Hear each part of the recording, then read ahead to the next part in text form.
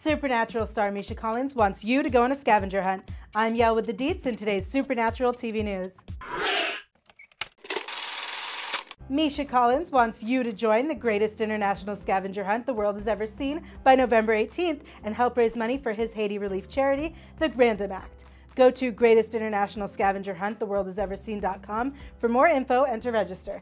And don't miss new episodes of Supernatural Fridays on the CW.